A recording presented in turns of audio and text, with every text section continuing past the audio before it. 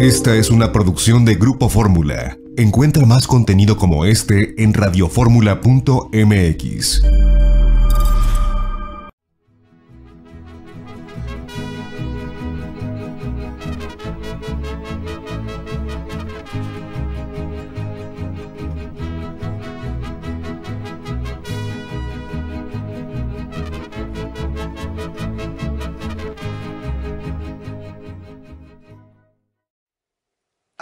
amigos, muy buenas tardes tengan todos ustedes. Los saluda con el afecto de siempre José Manuel Villalpando, aquí, aquí en una emisión más de este su programa La historia que quiero vivir, que como cada sábado por la tarde estamos transmitiendo a través de los micrófonos y frecuencias de Radio Fórmula, ya lo saben, en el 103.3 de FM, en el 970 de AM, ambas aquí en la capital de la República Mexicana, la Ciudad de México, pero también llegamos a muchas, muchas ciudades del interior de nuestra patria, no a todas las que yo quisiera, ustedes saben la razón, pero eso sí, también pueden escucharnos en todo el territorio nacional y aún en el extranjero, gracias a la página de internet www.radioformula.com.mx.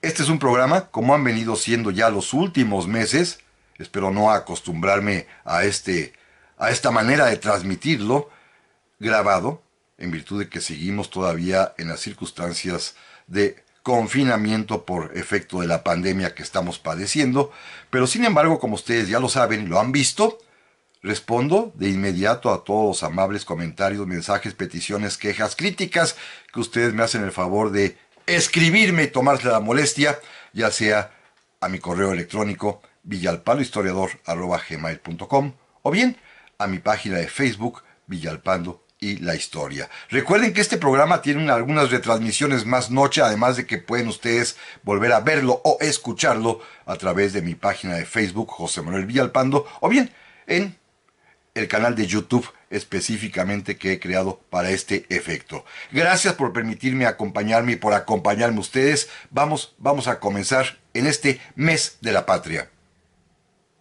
Tal y como ya lo había anunciado desde la semana anterior, y asimismo en los propios anuncios que coloco en mis redes sociales, que son únicamente el Facebook, este mes de la patria lo vamos a dedicar a examinar la independencia de México, pero desde un punto de vista distinto al que tradicionalmente se acostumbra. Vamos a verla, vamos a asomarnos a ella a partir del punto de vista de los realistas de aquellos que se opusieron a la independencia. Claro, que al final, gracias a ellos, se consumará justamente la libertad de la patria. Pero bueno, no me adelanto. Es importante el tema porque, repito, tradicionalmente se le ha estudiado se le ha platicado, se le ha narrado. Yo mismo aquí a lo largo de muchos años hemos hablado simple y sencillamente del punto de vista insurgente que por supuesto a mí me satisface muchísimo, me llena de gusto y de alegría, ustedes saben lo que pienso de ello, pero hemos dejado a un lado, y no solamente yo, en la gran mayoría de los libros, no se diga los de texto, no se digan muchos otros estudios, hemos hecho a un lado, hemos olvidado el punto de vista de quienes se opusieron a la independencia. No sabemos por qué lo hacían, ni sus razones, y simplemente hemos catalogado que se trataba de una guerra para independizarnos de España y hemos llegado al extremo de afirmar que en la independencia, en nuestra guerra patria, se combatió, se peleó, se luchó contra los españoles. Y no es así. Por ello, los invito a que me acompañen en esta serie que hoy inicia. Miren, serán cinco programas. El primero de ellos tocaremos los tiempos iniciales que corresponden al gobierno del virrey José de Iturrigaray, que será lo que platiquemos el día de hoy. Y después nos vamos a ir así. Los siguientes cuatro programas después de este iremos tocando diversos ángulos, diversas, pues, caras de la independencia, enfocándolas en el tiempo en que gobernó cada uno de los virreyes más señeros. El siguiente programa estará dedicado a los tiempos del virrey Francisco Javier Venegas, el que siga a los días en que gobernó la Nueva España el virrey Félix María Calleja del Rey. Más adelante, en otro programa posterior, serán aquellas épocas en las cuales estuvo a cargo el virreinato de Juan Ruiz de Apodaca, para rematar con el último virrey, que no fue virrey en el término legal de la palabra, sino jefe político superior, que todos conocemos, Juan O'Donoghue. Es un periodo que abarca 13 años, desde 1808 hasta 1821, y en él, aprovechando las figuras de los virreyes, vamos a tratar de platicar qué pensaban aquellos que defendían al rey, aquellos que no deseaban separar a la Nueva España de la vieja España. Hago una precisión de una vez. La guerra de independencia sí tuvo como objeto, y finalmente así se consumó, la separación de México, que nacerá en ese momento como esta patria nuestra, con ese nombre, México ya como una nación independiente, separarla, independizarla, libertarla de España que la había dominado bajo diversos títulos de conquista primero, después de una confederación de reinos, la monarquía universal española y al final con un tratamiento despótico como colonias, pero España había dominado a la Nueva España, a México, durante tres siglos, 300 años. Sí, había que separarse de ella, y así lo pensaron y lo hicieron y actuaron en consecuencia muchísimas personas. Pero hubo muchas otras que no deseaban esta ruptura. Hubo miles que preferían permanecer leales a España y al rey, sea quien fuera el rey, aunque fuera, como lo veremos, un verdadero mequetrefe.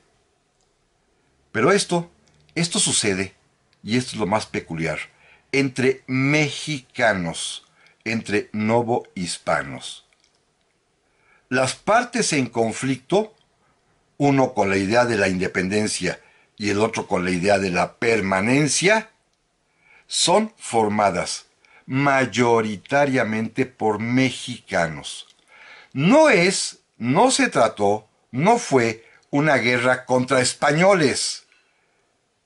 Sí, hubo españoles participando, pero son mínimos. Miren, simplemente un recuento rápido demográfico de aquel tiempo nos indica que para el año de 1810 los habitantes en números totales de la Nueva España, según los cálculos que pueden obtenerse primero del censo que hizo el segundo virrey conde de Villagigedo y después de los cálculos que propone Alejandro de Humboldt en su ensayo político sobre el reino de la Nueva España, la población ascendía en números redondos a 6 millones de personas en toda la Nueva España, desde allá, desde la Alta California hasta Costa Rica.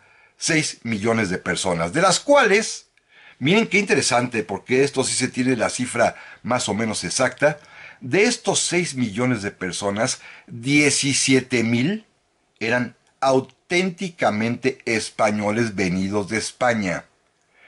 El resto, había más de un millón de criollos, es decir, de descendientes de españoles que vienen aquí a la Nueva España y aquí nacen sus hijos y sus nietos, criollos. Había dos millones de mestizos, es decir, de personas que nacieron de uniones matrimoniales o extramatrimoniales de españoles o criollos e indias o indios. Y también había, más o menos, quizás unos 3, casi 3 millones de habitantes originarios todavía, y un pequeño puñado de unos 100, 200 mil de los llamadas castas o de plano personas como se decía en aquel tiempo, negras de color.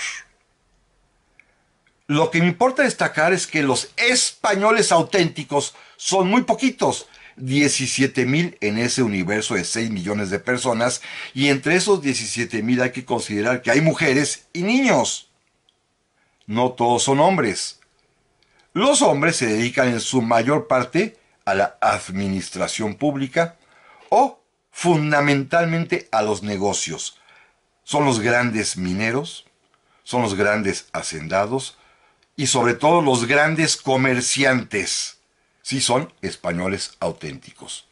Hombres normalmente acaudalados y personas que tienen un estatus social elevado. Algunos de ellos, algunos de ellos son militares, muy pocos en realidad. El ejército de la Nueva España, el que será el ejército realista, está formado esencialmente en un 95-96% por criollos y por castas, por mestizos y por población que ha nacido aquí. Son novohispanos, son mexicanos. Sí, a partir de 1812, como ya lo he señalado en algún programa anterior, comienzan a llegar tropas, soldados españoles ya perfectamente organizados en unidades militares. Sí, son las llamadas tropas expedicionarias que van a sumar un total de 8.000 soldados que llegan entre 1813 y 1815. 8.000. Pero agréguense ustedes a los 17.000 españoles que ya había, tenemos que al final, en los días en que se consuma la independencia, la población española auténtica en la Nueva España es de más o menos 25 mil personas, entre ellos estos 8 mil soldados. Es pues una guerra civil, como lo han señalado diversos autores muy serios que han hecho la historiografía de estos momentos, porque es una guerra esencialmente entre mexicanos que sí defienden dos causas distintas. Unos la libertad, pero otros la lealtad a España y a su rey. Este es el concepto de nuestra guerra de independencia que vamos a comenzar a platicar el día de hoy desde el punto de vista de los realistas. Volvemos, volvemos enseguida. Ya estamos aquí, amigas y amigos, en este segundo bloque de la, del primer programa, perdón, va de nuevo.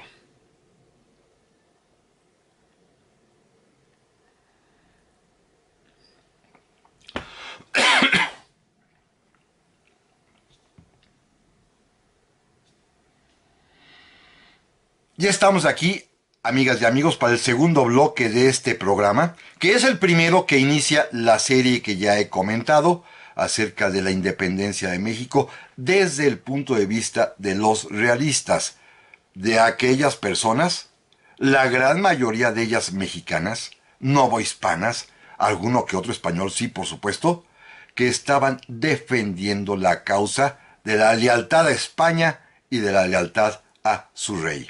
Se trata también, lo repito y espero que sea los días que lo diga en este programa, si no perderé mucho tiempo, de una emisión grabada de antemano.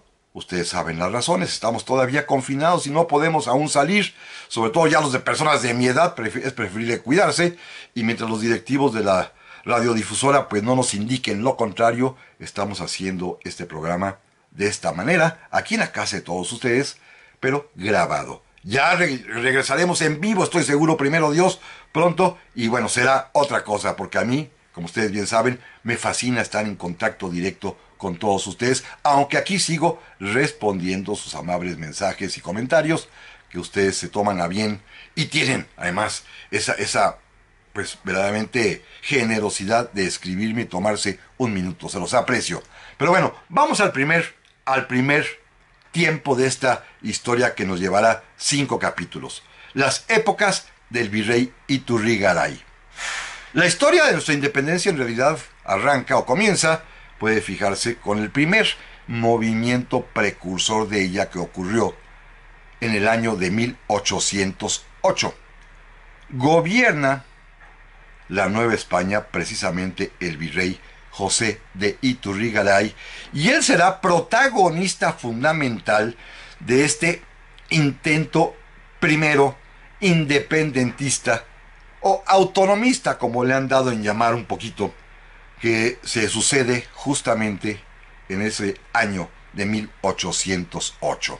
Pero déjenme primero hacer un pequeño paréntesis de antecedente para platicarles algo sobre José Iturrigaray, que es todo un personaje que merece una biografía muy profunda, bueno, quizás hasta una novela, porque es un hombre verdaderamente interesante. Miren, él llega a gobernar a México a partir de enero de 1803, es decir, cinco años antes de este primer intento independentista, y llega porque es un militar no tiene mayores luces ni méritos, pero tiene una enorme cercanía con quien verdaderamente gobierna España en aquellos años, que es no el rey Carlos IV, sino su válido, su primer ministro, su hombre de confianza, que es conocido como el nombre o sobrenombre de Príncipe de la Paz, que no, la, no lo obtuvo, pero su nombre verdadero es Manuel Godoy. Un personaje, no me voy a tener ahorita a hablar mucho de él, pero que es francamente, pues sí, muy interesante para biografiar, pero es un hombre deleznable.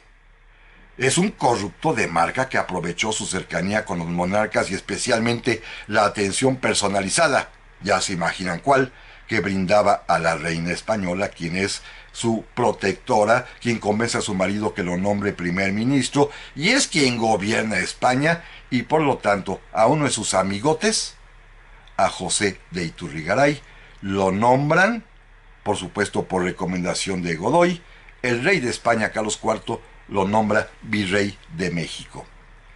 Es un auténtico pícaro, José de. Tan sinvergüenza como es su amigote Manuel Godoy. Y los pícaros sinvergüenzas pues tienen pues tienen cierto encanto. A lo largo de la historia hemos visto personajes que tienen estas características de ser pues francamente seductores con la gente a pesar de que en el fondo sus intenciones negras son aprovecharse de los puestos públicos. Y naturalmente José de Iturrigaray es uno de ellos. Literal, viene a enriquecerse. Y por supuesto a participarle, a darle su cuota correspondiente a su protector y amigo Manuel Godoy, que es otro corruptazo de marca allá en España. Los corruptos entre sí se protegen y de esta manera pues nombran a Iturrigaray para México porque va a recibir Godoy también beneficios de esta designación. Pero decía yo que los pícaros son simpáticos. Miren, miren lo que hace José Iturrigaray cuando llega a México porque él quiere llegar a la Nueva España y ser popular entre la gente. Y lo va a conseguir, ¿eh? Con varias medidas, muchas ellas de corte demagógico y populista, pero alguna de ellas muy seria y muy importante. Se acaba de descubrir en Europa, y en Francia ya comienza a aplicarse, y en España no se diga, la vacuna contra la viruela, esta terrible enfermedad que a lo largo de nuestra época novohispana verdaderamente fue un azote, como lo platicamos en el programa de hace meses sobre las pandemias, fue un azote que literalmente causó una enorme mortandad en la Nueva España de la época virreinal. Y de pronto en Europa se descubre la vacuna. Pero recuerden ustedes que hay una dificultad tecnológica para poder llevar la vacuna contra la viruela del viejo continente al nuevo continente, que es la ausencia, la carencia de refrigeradores. La vacuna, como ustedes bien saben, se extrae originalmente de una vaca, se le procesa y después ya se inocula en las personas y las personas generan una pequeña pústula, una ronchita, de la cual se puede extraer también vacuna. Esa es la vacuna viva, como se le conoce. Y José de Iturrigaray, que era muy, muy astuto, se le ocurrió la idea bastante loca, pero muy efectiva, de llevar como una especie de regalo por su designación y para, por supuesto, atraerse el favor popular, llevar a la Nueva España la vacuna contra la viruela que allá en el viejo continente está ya produciendo, está ya aplicando. Un médico que vendrá con él, que hoy tiene nombre de calle aquí en la Ciudad de México, el doctor Balmis.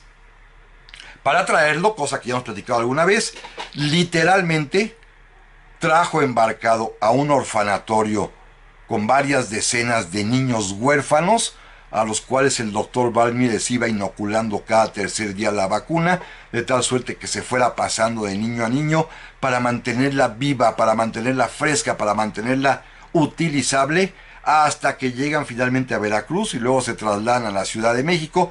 Eh, Iturrigaray, el día que toma posesión, le anuncia al pueblo también la buena nueva de que ha llegado la vacuna contra la viruela.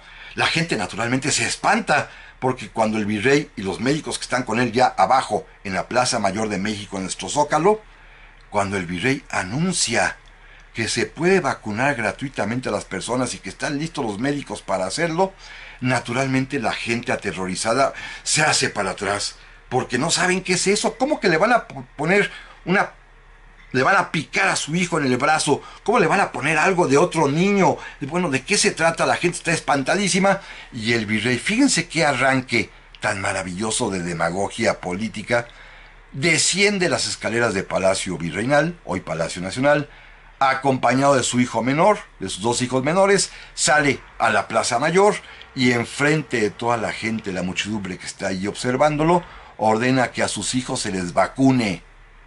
Así lo hacen y la gente por supuesto le aplaude a rabiar.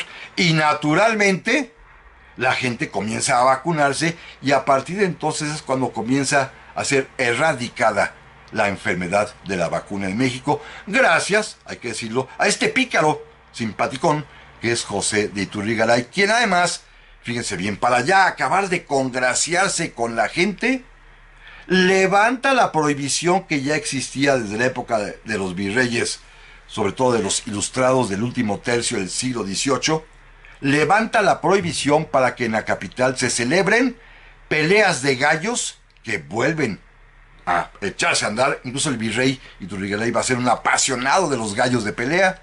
Y también levanta la prohibición, bien importante, de las peleas, perdón, de las corridas de toros. Las corridas de toros vuelven a aparecer en la Ciudad de México. Como no hay una plaza, ¿saben dónde se hace la corrida de toros? En el mero zócalo, en la Plaza Mayor, en la Plaza de Armas de la Ciudad de México. Ahí se establece el, el ruedo y ahí la gente se levanta en tribunas y va a mirar las corridas de toros porque le aplauden al virrey Turrigaray, que es aficionado a los toros y a los gallos, que haya levantado la prohibición. A él también le toca organizar la gran fiesta popular en el año en que llega a la Ciudad de México para develar, para inaugurar también en la Plaza Mayor la estatua del rey Carlos IV que todos conocemos con ese bonito nombre de El Caballito. Son días pues de fiesta, días de grandeza en la Nueva España, días de alegría, ya hay viruela, ya hay corridas de toros, ya hay peleas de gallo, tenemos un monumento magnífico que es verdaderamente digno de del arte de toda la universal de la humanidad. Y para colmo de bienes, la Nueva España en esos momentos, 1803-1804, es una verdadera potencia. Tenemos la riqueza minera mayor del mundo la plata mexicana se exporta a todas partes y en la ciencia tenemos también científicos de primer nivel como Andrés del Río o Fausto de Eluyar, que en el Colegio de Minería hacen descubrimientos científicos de primer nivel que han dejado con la boca abierta a Humboldt. Esta es la nueva España que gobierna José Iturrigaray, cuando de pronto todo va a cambiar, todo se va a modificar, porque en España comienzan a suceder cosas. Pero de estas, y la presencia y participación de Iturrigaray y los españoles en México, vamos a platicar en un momentito más. Ya estamos aquí, amigas y amigos, para el tercer bloque de este programa en el que estamos iniciando la serie dedicada a revisar, examinar nuestra independencia desde el punto de vista de los realistas, hoy con el primer episodio, el relativo a los tiempos del virrey José de Iturrigaray.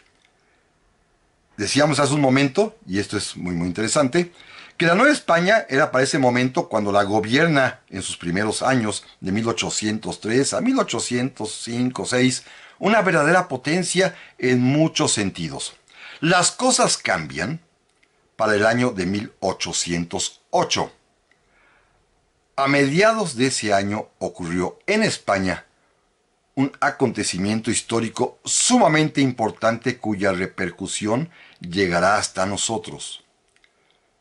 Es cuando Napoleón invade España, cuando finalmente en el motín de Aranjuez el pueblo español obliga a abdicar a Carlos IV, cuando tiene que salir huyendo, literalmente escondido en un carro de lavandería de ropa sucia, Manuel Godoy, el válido, el primer ministro de Carlos IV, y cuando el pueblo proclama a Fernando VII como rey legítimo de los españoles, y finalmente, cuando Napoleón, tanto a padre como a hijo, a Carlos IV y a Fernando VII, se los lleva presos a Francia, a Bayona, una ciudad allá en el norte del país francés, y allí obliga a ambos a abdicar para designar como monarca, como rey de España, a su hermano José Bonaparte, mejor conocido entre nosotros como Pepe Botella.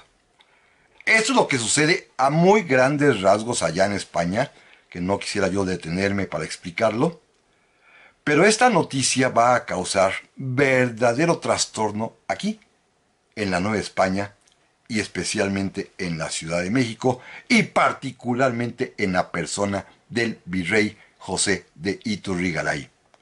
Miren, él se enteró de la noticia de una manera muy curiosa y muy, muy cómica. Ya comentaba en el bloque anterior que él era un aficionado irredento a las peleas de gallos y se encontraba precisamente presenciando una de ellas, ya en ese momento en la famosa feria de San Agustín de las Cuevas allá en Tlalpan, y estaba pues ahí muy contento apostándole al, al giro al Colorado, cuando uno de sus ayudantes le fue a avisar que acababa de llegar la Gaceta de Madrid con noticias de España, y en ellas se anunciaba precisamente todo esto que acabo de platicar, que Napoleón había invadido España, que el pueblo se había amotinado, que los franceses habían inclusive sofocado el levantamiento en mayo en la en la propia capital madrileña, que después habían sido, pues, depuestos los reyes, que ya habían sido trasladados a, Francia, que ya había un nuevo rey, rey que era José Bonaparte. Todo esto compendiado porque recuerden ustedes que las noticias llegan muy despacio, hay que cruzar el Atlántico y el único medio para hacerlo es en los barcos correos que tardan pues a veces bastantes semanas en poder llegar desde Cádiz hasta Veracruz.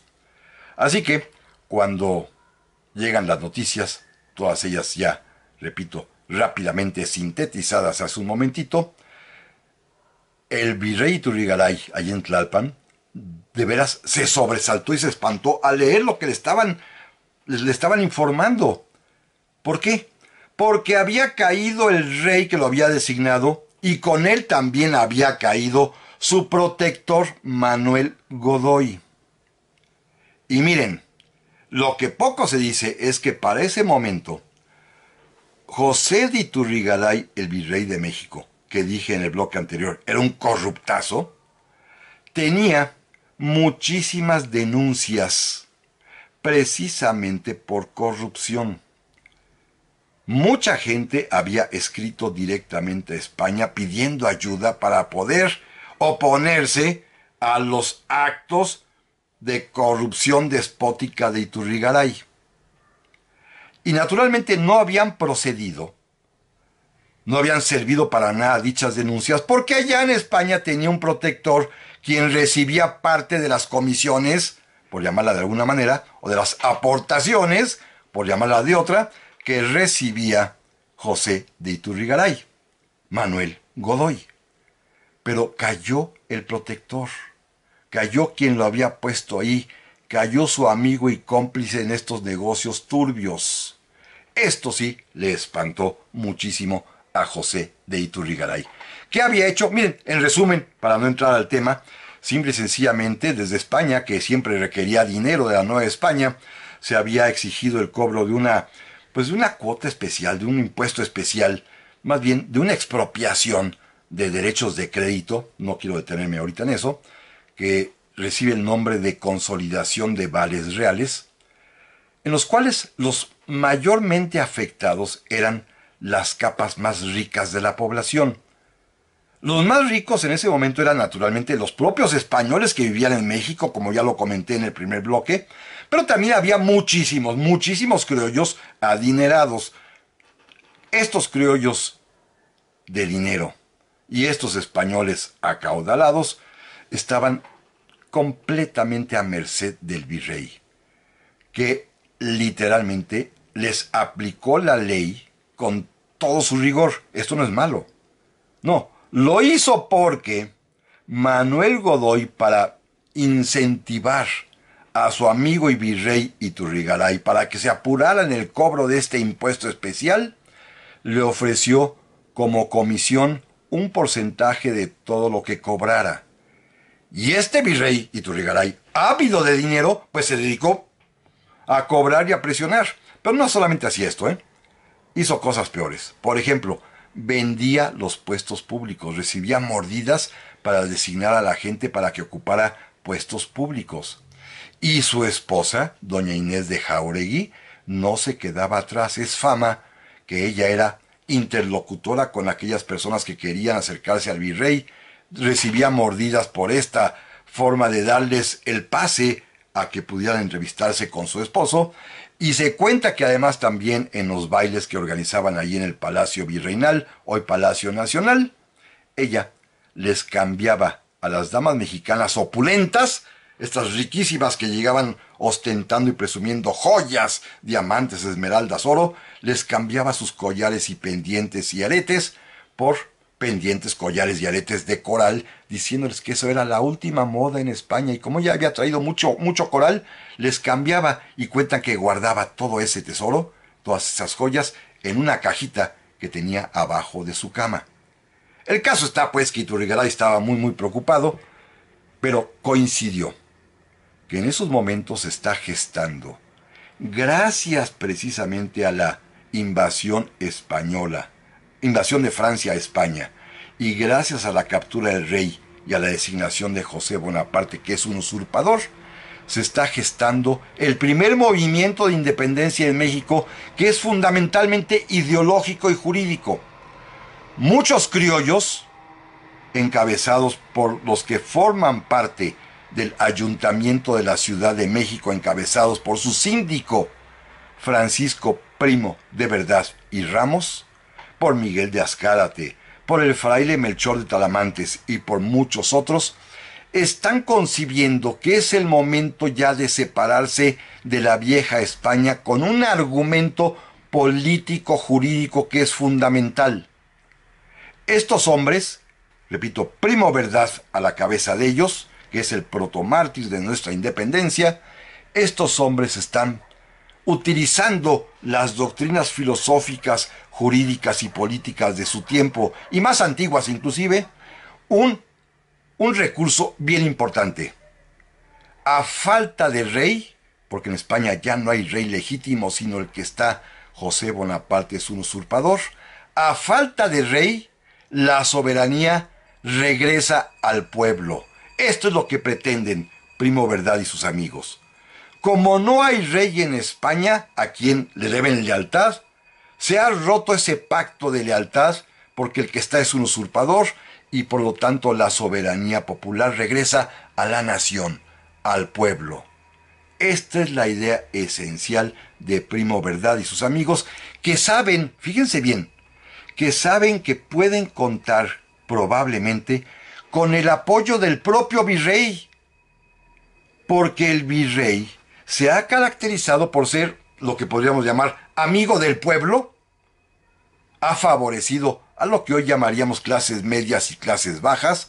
Recuerden que les trajo la vacuna, que les estableció la posibilidad de las diversiones públicas, que es un hombre que se adaptó muy bien al medio de corrupción, es un hombre pues más o menos querido por la población en general, pero eso sí, despreciado por las clases altas acaudaladas que lo aborrecen por corrupto. Aquí hay una diferencia bien importante. Segmentos de la población están a favor de Iturrigaray, los de clase media, llamémoslo así, y clase baja, en cambio la clase alta lo desprecia. Así que Primo Verdad y sus amigos, que son esta clase media criolla, se acercan al virrey para platicarle cuál es su idea y el virrey que está ansioso de encontrar una salida porque sabe que en cualquier momento las denuncias van a proceder en su contra, lo van a destituir, lo van a meter a la cárcel, en cuanto las nuevas autoridades españolas se den cuenta de que se trata de un verdadero corrupto, el virrey Iturrigaray está encantado con escuchar las ideas de Francisco Primo de verdad, de sus amigos, y acepta formar parte de este primer intento de independencia, en la cual, fíjense bien, lo encabezan los miembros del Ayuntamiento de la Ciudad de México, pero de la mano, del brazo, con el propio virrey español José Iturrigaray. Es nuestro primer intento de independencia y del vamos a platicar en un momentito más. Ya estamos aquí, amigas y amigos, para el último bloque de este programa que nuevamente se van rapidísimo cuando los programas son así grabados, pero en él estamos tratando de, pues, echarle una ojeada a la independencia desde el punto de vista de los realistas en un primer bloque que en esta ocasión se ocupa de lo que, de lo que aconteció en los tiempos del virrey José de Iturrigaray, de quien decíamos que era un corruptazo tremendo, que estaba empanicado, lleno de miedo porque allá en España la invasión napoleónica había traído como consecuencia la deposición del rey Carlos IV y por supuesto la de su ministro Manuel Godoy, amigo promotor, defensor y por supuesto cómplice de José Iturrigaray en sus tropelías, lo cual tenía al virrey de México muy muy espantado, porque pensaba que en cualquier momento llegaría la orden de España de detenerlo, de encarcelarlo y de enjuiciarlo. Y él, pues no quería eso naturalmente, y vio con buenos ojos que se le acercaran los criollos del ayuntamiento de la Ciudad de México encabezados por don Francisco Primo de Verdad y Ramos, y que le propusieran este primer intento de independencia de México en el año de 1808, fundado en la idea política, que había postulado ya desde siglos atrás un español, jesuita, Francisco Suárez, de que a falta de rey, como sucedía en España porque estaban ya gobernados por un usurpador, Pepe Botella era hermano de Napoleón, a falta de rey la soberanía regresa a la nación. Esto le encantó a José de Iturrigaray porque entonces podía librarse de la autoridad española que podría en un momento dado, como va a suceder, hoy te lo platicaremos, amenazar con su libertad por corrupto, eso sí. En las pláticas que sostuvieron Primo Verdad, sus amigos y el virrey Turrigaray, llegaron a una conclusión para apoyarse mutuamente. Fíjense qué interesante. La soberanía, en efecto, va a regresar al pueblo, pero el pueblo, soberano, no puede ejercerla así, la gran masa. Tiene que hacerlo a través, en algunos lugares en España, por ejemplo, de sus representantes legítimos y por eso se instituye o se constituye lo que será las Cortes de Cádiz que harán una constitución allá en España. En México no, esas cosas no nos gustan y primo de verdad e Iturrigaray llegan al acuerdo. Escuchen amigos, qué interesante, que en el caso de la Nueva España, a falta de rey, que es Carlos IV o Fernando VII, que son los reyes legítimos, a falta de rey, la soberanía ha regresado al pueblo mexicano y el pueblo mexicano, escuchen esto, la va a ejercer a través de las autoridades ya constituidas, los que ya estaban y mencionan claramente a dos. Primero, va a ser autoridad de esta nación independiente el municipio o cabildo o ayuntamiento de la Ciudad de México, dicen ellos, porque es la ciudad capital principal y cabeza de todo el reino. Así que centralistas en serio, ¿eh? nuestros criollos. Los miembros del ayuntamiento de la capital van a gobernar a todo el país porque fuera de México supongo que habrán dicho todo es Cautitlán. Pero es el ayuntamiento y la otra autoridad constituida es el virrey el virrey que se va a quedar como gobernante, como una especie de poder ejecutivo de la nueva nación independiente, el mismo virrey ya constituido, es decir, José de Iturrigaray, quien estaba encantado con esta solución. Nos separamos de España y yo me quedo gobernándola, la Nueva España, en mi calidad de virrey y ahora de gobernante de esta nueva nación, en compañía de mis amigos, los criollos del ayuntamiento de la Ciudad de México. Inclusive, para poder hacer válida esta propuesta, convocaron a lo que se llamó las Cortes Mexicanas, invitaron a ellas a reunirse en Palacio Virreinal, hoy Palacio Nacional, a todos los estamentos, a la universidad, a los tribunales, a, la a las escuelas, a los pueblos de indios, a los gremios de comerciantes, a los gremios de hacendados, a todo mundo invitaron para que enfrente de todos, incluso a la iglesia, proponer esta tesis. Como no tenemos rey en España, la soberanía ha regresado al pueblo y el pueblo la ejerce a través de sus autoridades ya constituidas que lo son el virrey y el ayuntamiento de la Ciudad de México. Esto era perfecto.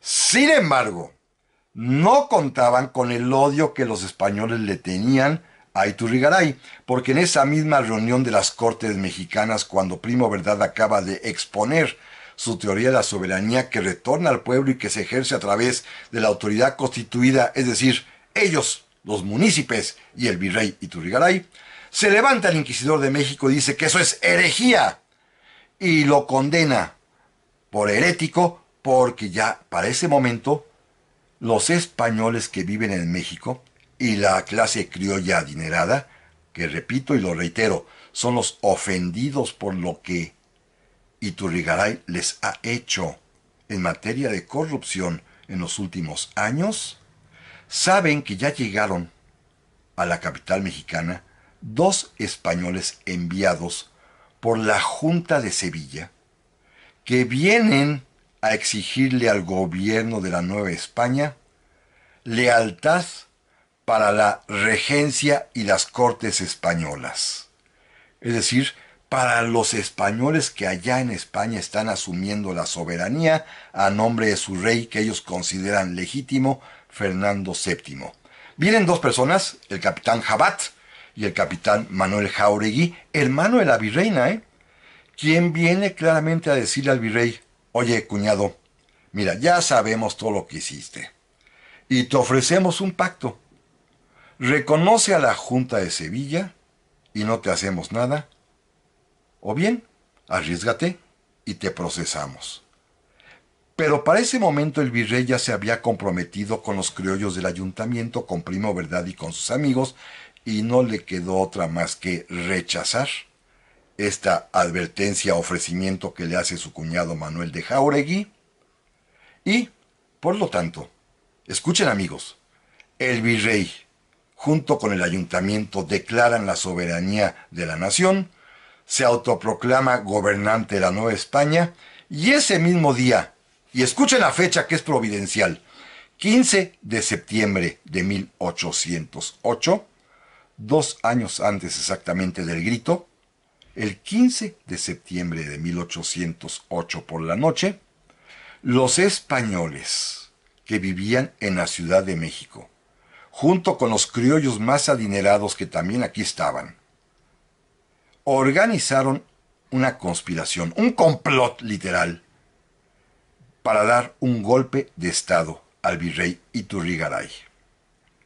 Recurrieron a un comerciante muy rico que se llamaba Gabriel del Yermo, quien organiza a sus dependientes, a sus empleados, todos ellos mexicanos, fíjense qué interesante, para que asalten por la noche el palacio virreinal, para que tomen preso al virrey Turrigaray, para que asalten también la casa de los regidores o municipios del Ayuntamiento de la Ciudad de México y tomen preso particularmente a Francisco Primo Verdad. Y este golpe de Estado, organizado por españoles y por criollos adinerados, triunfa.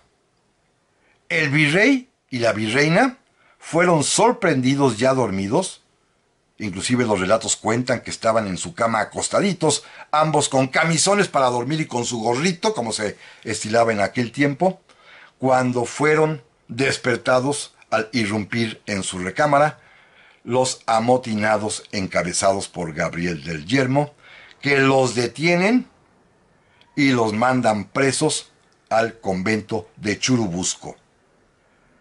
Lo más curioso es que cuando están registrando las habitaciones del virrey que ha sido ya detenido, es cuando encuentran abajo de la cama de los virreyes una caja de madera que decía cajetas de Celaya, en donde en su interior la virreina Jauregui guardaba todas aquellas joyas que había permutado a las ricas mexicanas cambiándoselas por corales de las que hablamos hace un momentito.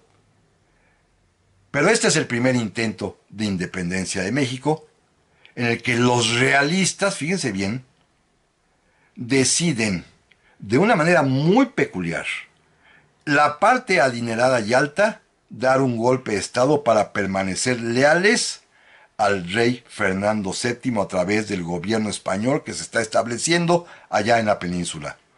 Pero otras personas, pues quieren la independencia, como los criollos Primo Verdad y sus amigos.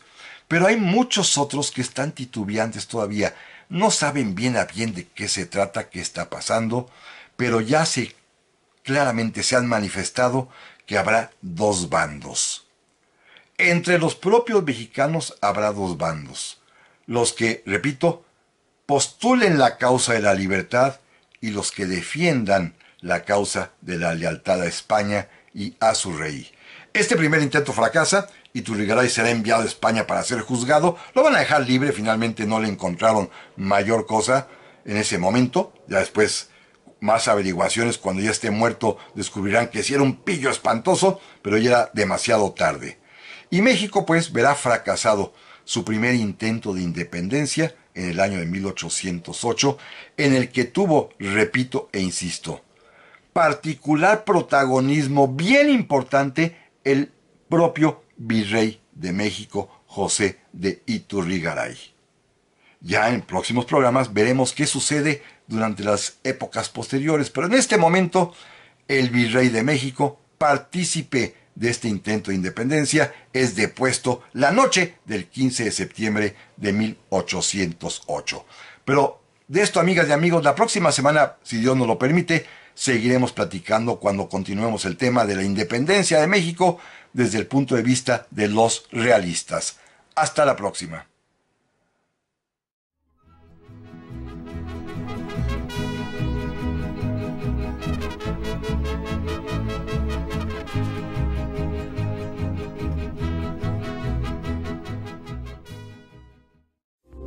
Esta fue una producción de Grupo Fórmula. Encuentra más contenido como este en radioformula.mx.